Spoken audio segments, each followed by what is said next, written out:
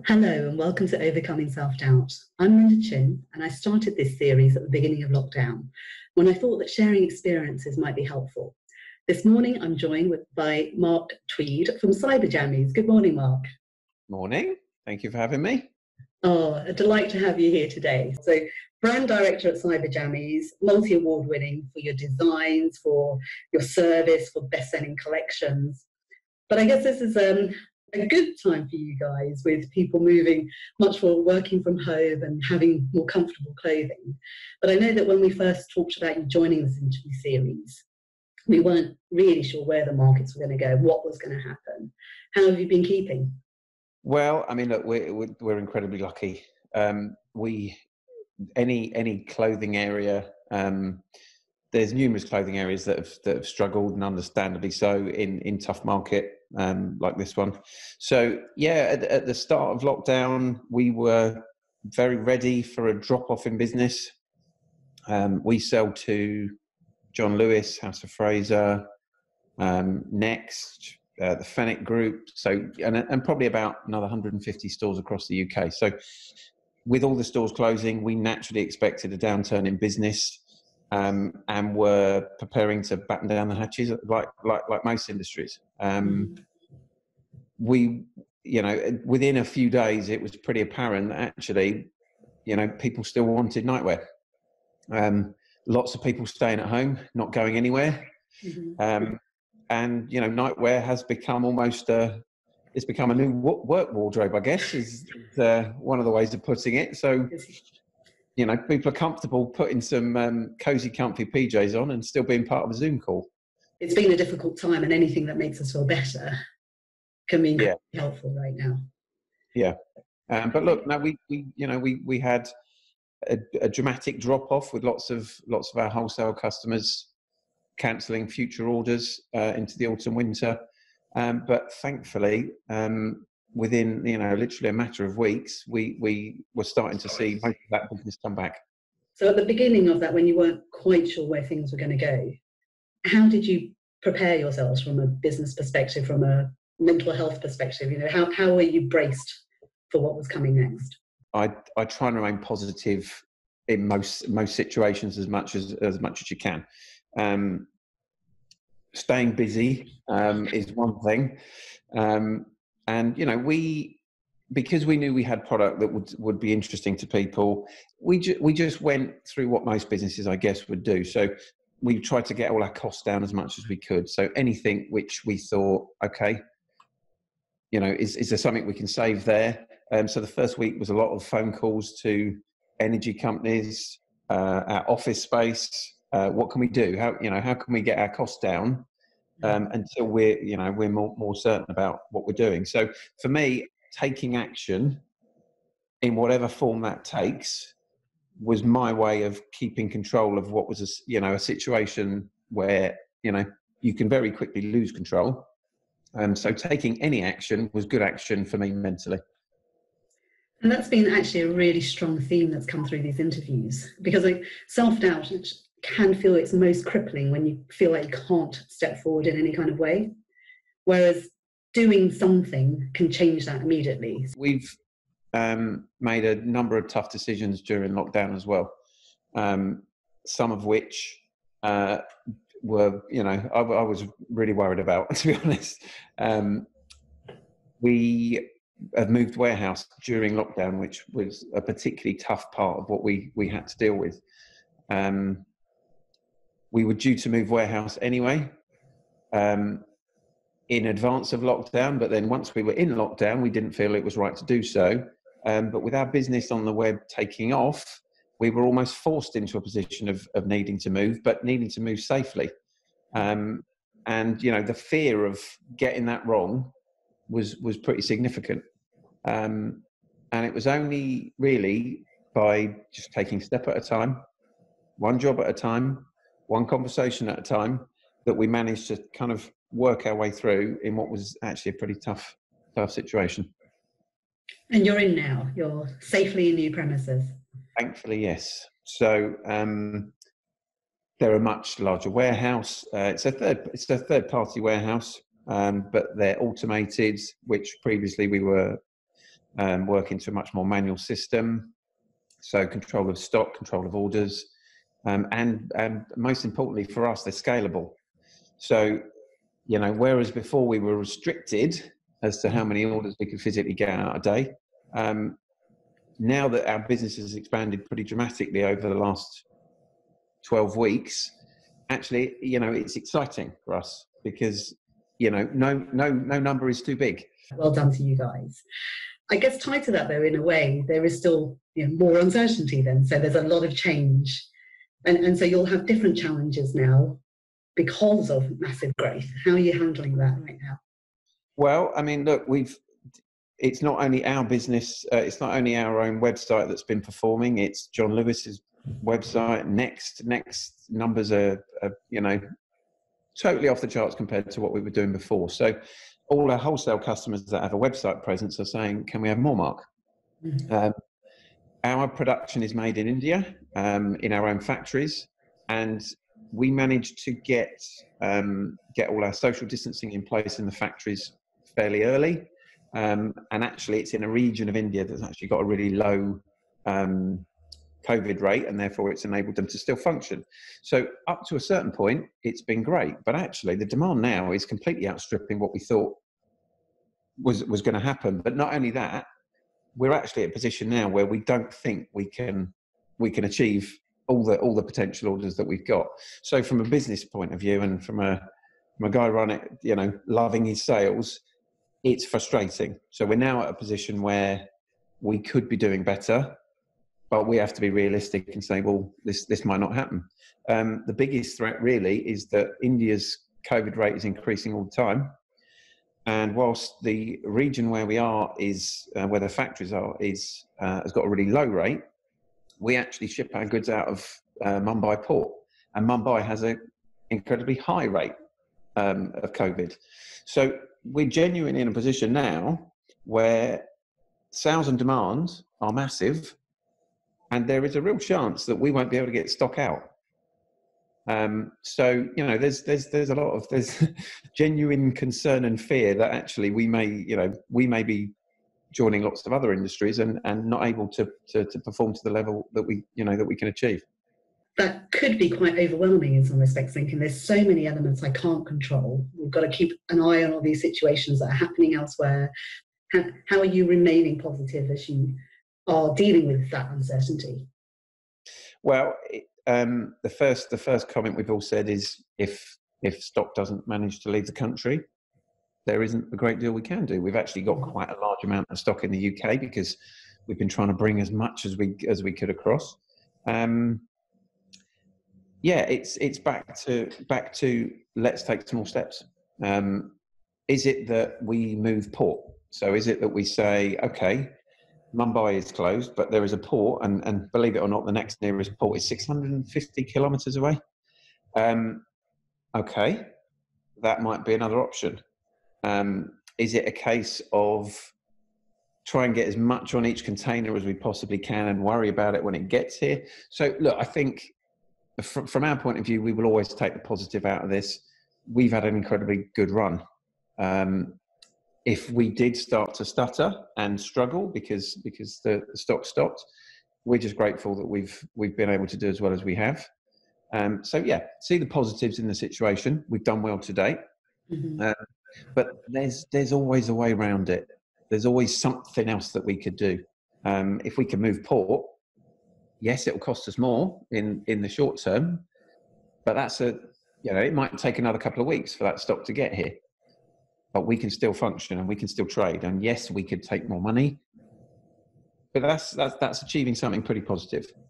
Um, yeah. Look, I'm I'm lucky. We've got um, the managing director's based in India.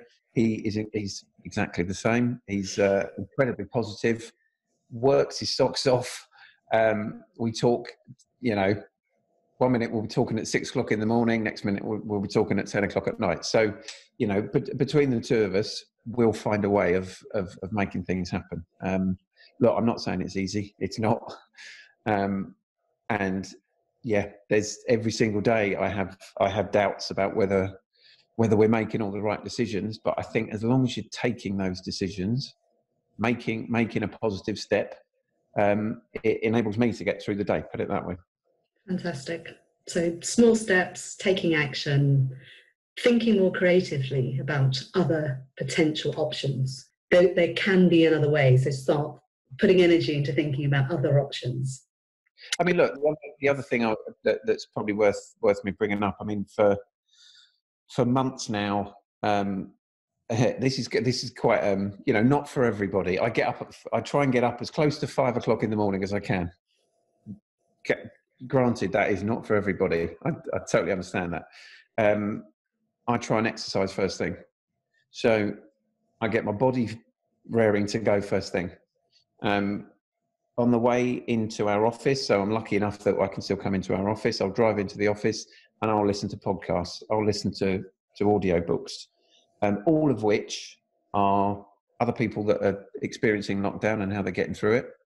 Um, you know, it's I'm I'm tr- I'm I'm trying to you know I'm 47 years old, but I am there's a lot I can learn, um, whether it be business, whether it be life, whether it be relationships, etc. So I love now. I probably soak in more information now than I did as a as a kid at school. Um, because I enjoy it and I enjoy learning and I enjoy moving on.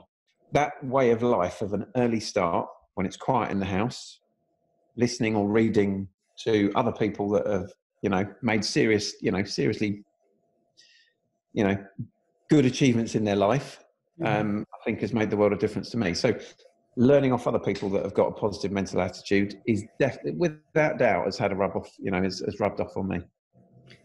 That's brilliant. And as you say, five o'clock starts might not be for everyone, but what can be done for everyone, it can be actually taking the time out for you know, having that space and time to step back and reflect and learn from others, you know, see another perspective. I'm, I've always been a morning person, so it, it suits me to do the morning. But I think the most important thing in as far as this is concerned is get your me time at some mm-hmm. point, whatever suits you and whatever whatever works for you. And for me, if I start the day off well, chances are the day will go well. And, and actually, coming back to your point about creativity and finding other options, if you're always introducing new perspectives into your own thinking, the potential to find other options is, should be greater. Yeah, I mean, look, the what what it's also helped me do is it's just given me that extra little piece of knowledge around a subject, for example. So marketing is is um, one of the reasons why our, our, website is doing as well. We we spend on Google advertising, we spend on Facebook and Instagram, etc. I need we we we actually use a freelancer to to help us to to run that. Mm-hmm. But I need to ask him the right questions, and I need to be able to direct him in a way that that says right. So Jammies know what they want. Um, we're going to leave you to be the expert on on on your side, but I need to be able to ask those right questions.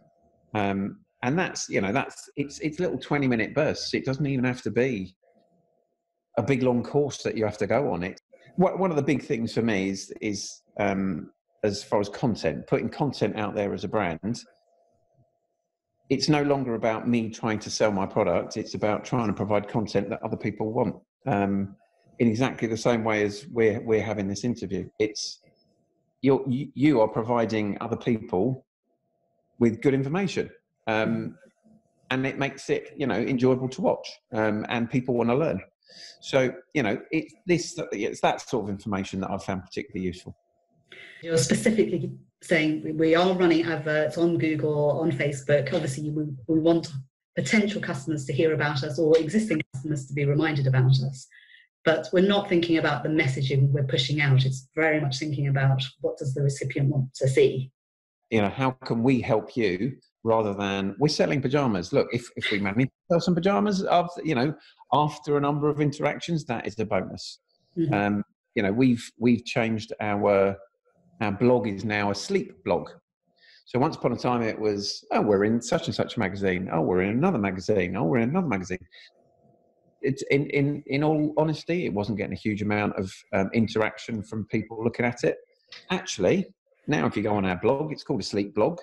We get guest bloggers that that that you know. I mean, a lot of people have struggled to sleep in lockdown because of all the various different pressures that, that, that they're under. So now we've got these, you know, these are some of the best ways to help you sleep. These are these are some really good habits to get into in order to help you help you get to sleep. A lot of it is common knowledge, but actually, that's you know, if we can provide some free content um, that helps people, that's more likely to engage with people. Was there a journey to flip your co- content around that way? What mm. shifted you to thinking about value content? I've always try, wanted to try and get a far more engaged customer. Mm. And the fact that we weren't getting it said to me, well, I don't think we're doing this quite right. And then, you know, it was, you know, it's going back to the blogs and the, and the, um, and the podcasts that I've been listening to. So many people were saying, don't just put on your magazine ads, etc. So it was very clear to me that actually we were probably going down the wrong route. Um, and the other thing is, I've I've got I've got a very small team in the UK, but a good strong team. And I set the challenge and said, right, we need to, you know we need to do things a bit different here, um, and then let them get on with it. And actually, they're the ones that have come up with the creative stuff. I'm, you know, in all honesty, I'm not overly creative as a as a person, um, but if I can just steer people in the right direction, they went out and found the guest bloggers. They talked about the content they thought would be relevant, and now it's on the website. And it's, you know, it's it's taken a matter of weeks, and we've pivoted. Mm-hmm. And so our content should hopefully feel very different, and and and we can see the response. Mm-hmm. So make a change, make a decision, review it. If it's not working, pivot again. Yes.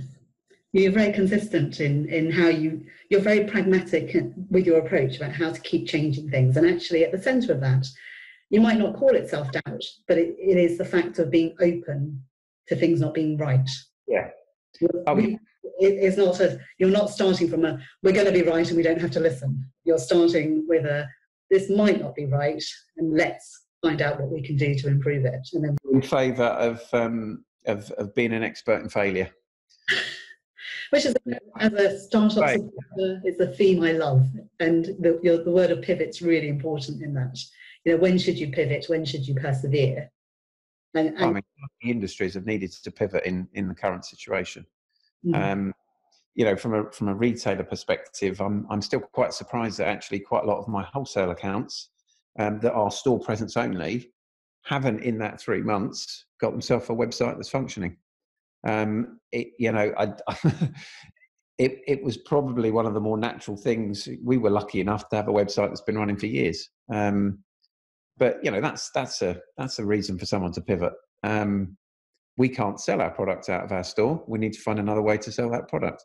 Yeah everything you're describing, Mark, is such wonderful growth mindset, lean thinking approach. And I'm, I'm broadly smiling because of the fact of I know Cyber has been around 15, 16 years, and obviously still 16 years on. You know, when you stop thinking like a startup, you don't. That, that is the joy of it. It's thinking how to keep looking at things anew and seeing if another change needs to happen, right? No, constant change, constant change. It, it, that, that, that won't go anywhere. No, that's fantastic. And so, I mean, lots and lots of great tips there in terms of managing uncertainty, managing rapid change, whether negative or positive.